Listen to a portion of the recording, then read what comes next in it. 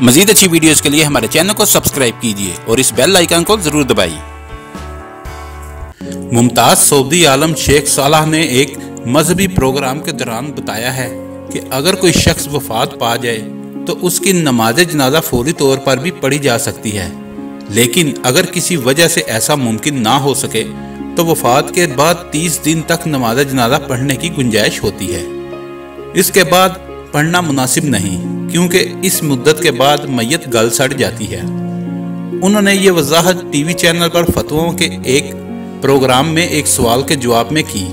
ایک شخص نے ان سے یہ سوال کیا تھا کہ ان کے ایک عزیز کا انتقال ایسے وقت میں ہوا ہے جب وہ سفر میں تھا۔ اس کی وفات کے ایک ہفتے بعد ساتھیوں کی واپسی پر حادثے کی اطلاع ملی۔ کیا وہ قبرستان جا کر اپنے مردہ عزیز کی قبر پر نماز جنازہ ادا کر سکتے ہیں؟ اس پر مفتی نے کہا کہ وفات کے بعد ایک ماہ تک ایسا کیا جا سکتا ہے۔ اس کے بعد نہیں، کیونکہ پھر میت گل سڑ جاتی ہے۔ مفتی سے ایک اور سوال کیا گیا کہ کیا قبرستان جا کر اپنے وفات پا گئے عزیزوں کی قبر پر کھڑے ہو کر انہیں اہل خانہ کے حالات بتانا جائز ہے؟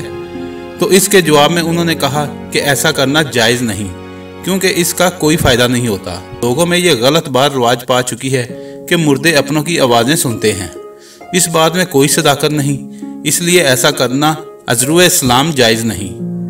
واضح رہے کہ شیخ صلاح ممتاز سعودی علماء کے بورڈ کے رکن ہونے کے علاوہ دارالفتنہ کے ممبر بھی ہیں۔ اگر آپ کو ہماری ویڈیو اچھی لگی ہے تو اس کو لائک اور شیئر کریں اور ہمارے چینل کو سبسکرائب کرنا نہ بھولیے۔ شکریہ۔